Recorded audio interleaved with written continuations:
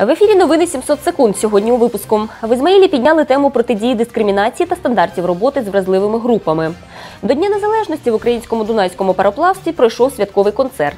В Одесі представили нового керівника поліції регіону.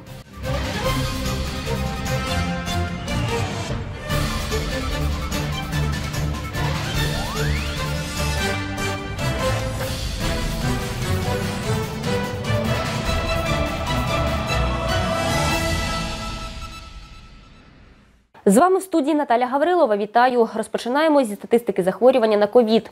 2032 нових випадки зафіксовано за добу. Загалом, станом на 27 серпня в Україні понад 2 мільйона хворих на коронавірус.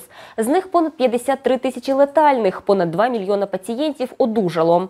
В Ізмаїлі, за інформацією міського голови, в інфекційному відділенні лікарні Саф'янівської сільської ради з підтвердженим ковід знаходяться 7 пацієнтів. В Дунайській обласній лікарні 14. 4 пацієнта у реанімації, двох підключено до апарату штучної вентиляції легень. Всього в Ізмаїлі хворих на ковід 29 ізмельчан. Україна може вийти із зеленої зони вже в першій половині вересня. Поточна ситуація залишається контрольованою. На тижневі показники вплинули святкові дні, проте госпіталізації все ще переважають над виписками. Керівник центру економіки охорони здоров'я Юрій Ганиченко зауважив, практично кожний регіон вже наближається до показників жовтої та помаранчевої зон. Вже в першій половині вересня очікується вихід України із зеленої зони. Наразі критична ситуація у Чернівецькій області. Громадський центр правосуддя спільно з місцевими центрами з надання безоплатної вторинної правової допомоги проводить тренінги з протидії дискримінації та стандартів роботи з вразливими групами. Пройшов такий тренінг і в Ізмаїлі. На ньому були присутні адвокати, поліцейські, представники юстиції та правозахисники. Подробиці розкаже Анастасія Грекова. 27 серпня в Ізмаїлі пройшов практичний тренінг протидія дискримінації та стандарти роботи з вразливими групами, орієнтований на працівників органів надання безоплатної правової допомоги, адвокатів, поліцейських, представників органів юстиції, правозахисників. Коли ми говоримо про дискримінацію, це стосується, наприклад, такого прояву дискримінації, як домашнє насильство. Це стосується, наприклад, е, мови ворожнечі і, зокрема, національної ворожнечі. Ми знаємо, що Одеський регіон і Бесарабський регіон це багатонаціональний регіон. Тому, на жаль, е, час від часу спалахуються якісь національні прояви ворожнечі, тому на подолання всіх цих проявів негативних і спрямована наша діяльність. Тренінг проводиться громадським центром правосуддя спільно з Ізмаїльським місцевим центром з надання безоплатної вторинної правової допомоги. Слово дискриминация слышали все, давно, наверное, и много, но, к сожалению, очень мало кто понимает, что включает в себя это понятие, как его можно, э, как можно э, использовать закон о дискриминации. На сегодняшний день проведение такого т- тренинга имеет большое значение, поскольку здесь будут раскрыты э, разные подходы, как мы можем применять э, понятие дискриминации, как мы можем раб- э, использовать это в своей работе. Не только мы, как и сотрудники полиции, так и представители здесь есть исполнительной службы. Учасники тренінгу розглянули питання нормативно-правового забезпечення протидії дискримінації, вплив стереотипів, ознаки вразливих груп, вплив пандемії COVID-19 на становище вразливих груп. Тренерка Юлія Лісова поділилася власним досвідом підтримки вразливих груп, адже є безпосередньою учасницею таких резонансних дискримінаційних справ, як виселення ромських родин у суді Лощинівка чи порушення прав учасників мирного мітинга за права ЛГБТ в Одесі. Практично адвокати та правники розглянули низку дискримінаційних понять, як от булінг, злочини на ґрунті національної ненависті, домашнє насильство тощо. Ці явища доволі поширені як в Європі, так і в Україні. Однак статистика свідчить, що розслідування та покарання за ці злочини є неналежним. Зокрема, майже з шести сотень проваджень за статтею 161 Кримінального кодексу України порушення рівноправності громадян лише 15 мають результат судового розгляду. Тренерка надала практичні інструменти впровадження гендерної рівності, доказування дискримінації та збору належних доказів для розгляду у суді. Ці знання сприятимуть прозорості правосуддя та дотриманню прав громадян у громаді. Зазначимо, що такі практичні одноденні тренінги також проводяться в Кілії та Арцизі. Анастасія Грекова, Руслан Гуцало. Місцеві новини. Міністр інфраструктури України Олександр Кубрак призначив на посаду начальника Ізмаїльської філії адміністрації морських портів України Олександра Істоміна. Нагадаємо, Олександр Істомін очолював адміністрацію Ізмаїльського порту з липня 2014 року по березень 2019. Він має великий досвід роботи на керівних посадах на підприємствах морегосподарського комплексу. Нагороджений званням почесний працівник морського і річкового транспорту України. До Дня Незалежності в українському дунайському пароплавстві пройшов святковий концерт. Участь у ньому взяв народний ансамбль клубу моряків Катюша, талановиті працівники і ветерани пароплавства, а також відомі ізмаїльські виконавці. Докладніше дивіться у сюжеті. Спеціально до Дня Незалежності в українському дунайському пароплавстві пройшли урочистості. Лунає гімн України. До слова запрошується голова первинної профспілкової організації пароплавства Анатолій Ніколаєв. Я хочу поздравить вас с важным национальным праздником – 30-летием независимости Украины. С каждым днем все более углубляется осознание этой даты и ее значение для каждого из нас. Перед нами сложные задачи укрепления независимости нашего государства. Но создание истории Отечества, ее настоящее и будущее – это наш долг. Слова привітання прозвучали також від представника незалежної дунайської профспілки робітників водного транспорту «Справедливість» Олександра Широченка. Когда мы вышли из состава, у нас было больше 7 тысяч сотрудников. Сейчас осталось э, 1200, полторы максимум. Вот. И у меня теплится надежда, э, что после этой знаменательной даты э, количество сотрудников э, будет только увеличиваться, так как это будет обозначать развитие нашего предприятия. Я поздравляю всех с Днем Независимости и желаю всем процветания. Напередодні свята в українському дунайському пароплавстві був виданий святковий наказ про нагородження кращих працівників і ветеранів. Під час заходу його зачитала начальник служби управління персоналом Любов Бандєєва. В урочистій обстановці нагороди було вручено працівникам плавскладу і берегових служб, а ветерани праці отримали почесні грамоти і знак пошани. Після завершення офіційної частини відбувся святковий концерт, підготовлений клубом моряків пароплавства. Розпочалася концертна програма виступами зразкового ансамблю танцю Катюша. Щоб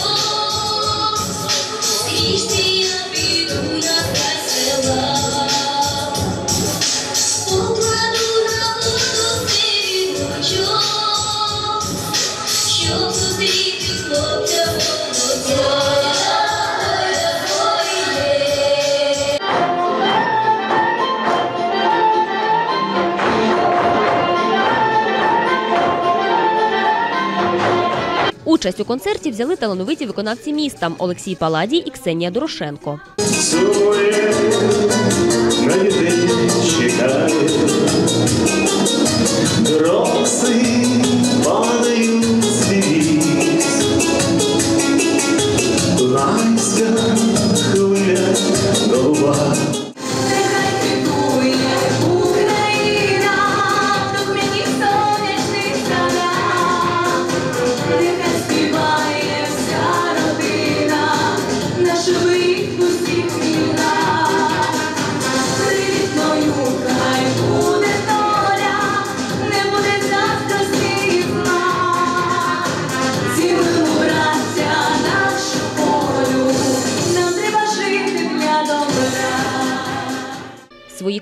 композиції всім присутнім подарували також працівники і ветерани пароплавства. Механік теплоходу Україна Олександр Бруненко, ветеран культури Юрій Морозов та музичний керівник пасажирських судів Сергій Криуленко.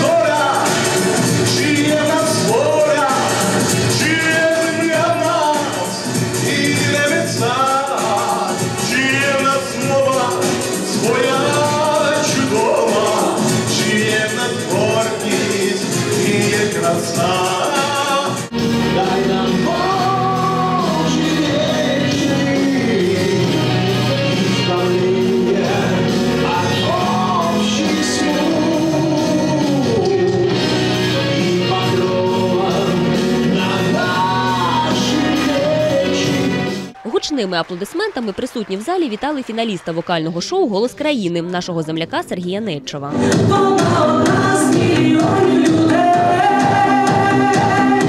А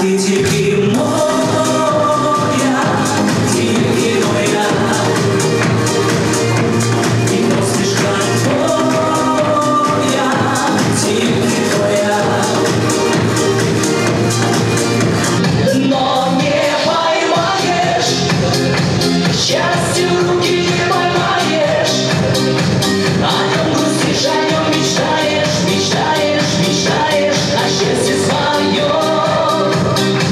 Кто любит, знает. Завершився святковий концерт танком Українська сюїта у виконанні ансамблю танцю Катюша. Наталя Гаврилова, Наталя Маленко для програми новин. В Одесі представили нового керівника поліції регіону. Відсьогодні її очолює генерал поліції третього ранку Микола Семенишин, який до цього працював на посаді начальника поліцейського главку Донеччини. Особовому складу його представив перший заступник голови Національної поліції України, начальник кримінальної поліції Михайло Кузнєцов. Новопризначеного начальника ГУНП в Одеській області Михайло Кузнєцов охарактеризував як професіонала, досвідченого і відповідального керівника, який з 1990 року пройшов шлях від міліціонера патрульно-постової служби та працівника карного розшуку до очільника поліції Івано-Франківської, Хмельницької та Донецької областей. Микола Семенишин подякував за довіру очолити ГУНП надзвичайно потужного стратегічного регіону з багатовіковою історією та величезним культурно-мистецьким спадком та висловив впевненість у тому, що виправдає цю довіру.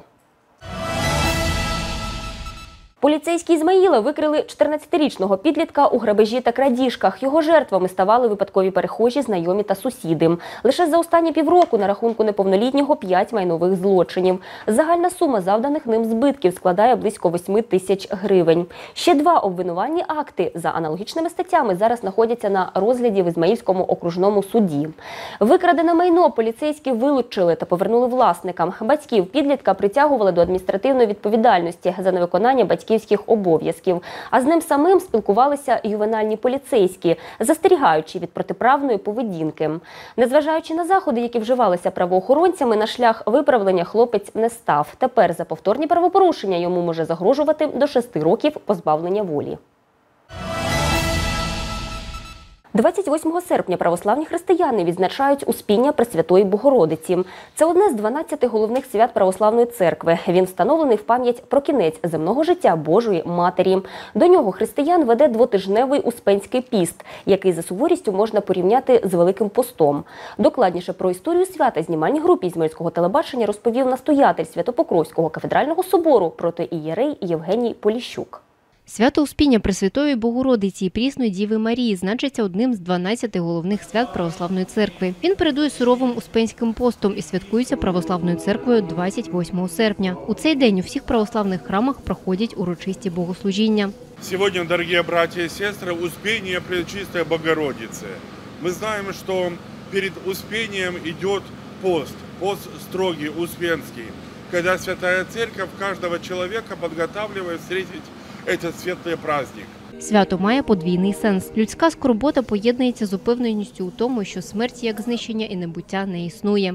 Казалось бы, что мы празднуем Успение Пречистой Божьей Матери, а для верующих людей это огромнейший праздник. Праздник веры, благочестия и чистоты жизни. По той причине, что слово «успение» переводится как «уснула Божья Матерь», Перешла от этой временной жизни в жизнь вечную. Після Вознесіння Господа матір Божа залишалася під опікою апостола Іоанна Богослова, а в його відсутність жила у будинку його батьків поблизу гори Оливної. Для апостолів і всіх віруючих вона була втіхою і повчанням. Розмовляючи з ними, матір Божа розповіла про чудесні події благовіщення, безсеменного зачаття і нетлінного від неї народження Христа, його дитинства і всього земного життя. Подібно апостолам вона насаджувала і стверджувала християнську церкву своєю присутністю, словом і молитвами. За три дня до смерті Марії з'явився архангел Гавріїл і сповістив її про близьку смерть. У цей день апостоли залишили місця своїй проповіді та зібралися в Єрусалимі, щоб попрощатись з Пресвятою Богородицею та здійснити здійснити погребіння її причистого тіла. Перебуваючи навколо її ложа, вони були засліплені яскравим світом, в якому з'явився сам Христос в оточенні ангелів та архангелів. У цей момент чиста душа діви без страждання, ніби у вісні відійшла до Господа. Мы знаем, что Божья Матерь знала день своей кончины, день своей смерти, день успения. За три дня Архангел Гавриил с пальмовой веткой благовестил Божьей Матери, что в этот день она перейдет в жизнь вечную. И она была готова внутренне быть с Господом, Сыном со своим и Богом нашим. Апостол Фома не встиг на поховання Богородиці, тому йому після її успіння дозволили увійти у печеру гробницю, але там він її не виявив. Це пояснили тим, що Господь забрав тіло Марії на небо. Мы, дорогие братья и сестры, знаем, что апостол Фома не был на погребении Пречистой Богородицы. Спустя три дня он умолил, чтобы все апостолы открыли гробницу, и он поклонился останкам Божьей Матери. И вот когда открыли гробницу, они увидели, что там лежали только пелены, а самой Пречистой не было. Она была взята на небо именно и телом. И мы знаем, что на всех иконах Успения Божьей Матери мы изображается Богородица, Пречистое тело, а затем и в руках, и душа у Господа. Успіння належить до найдавніших богородичних свят, який з'явився в Єрусалимі відразу після Вселенського собору в Єфесі. У цей день у православних храмах проходять святкові літургії. Віруючі несуть квіти до ікони із зображенням Богородиці і прикладаються до неї.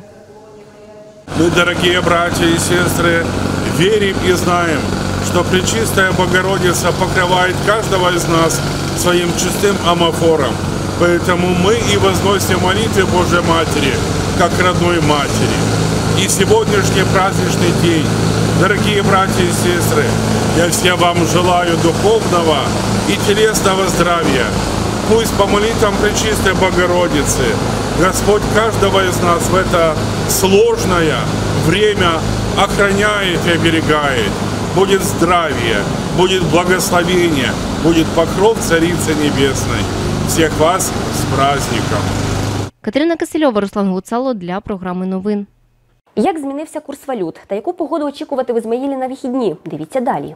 Сьогодні долар можна придбати за 26 гривень 76 копійок, продати за 26 гривень 98 копійок. Євро купівля 31 гривня 30 копійок, продаж 31 гривня 70 копійок. Що стосується погоди, Дунайська гідрометобсерваторія повідомляє, в Ізмаїлі на вихідні дні очікується мінлива хмарність, вночі та вранці невеликий дощ, вдень без істотних опадів. Вітер північно-східний 6-11 метрів на секунду. Температура повітря вночі 15-17 градусів, а вдень 27-29 градусів. В Одесі хмарна погода, невеликий дощ. Вітер південно-східний 4-7 метрів на секунду. Температура повітря вночі 20-21 градус, а вдень 23-24 градуси з позначкою плюс.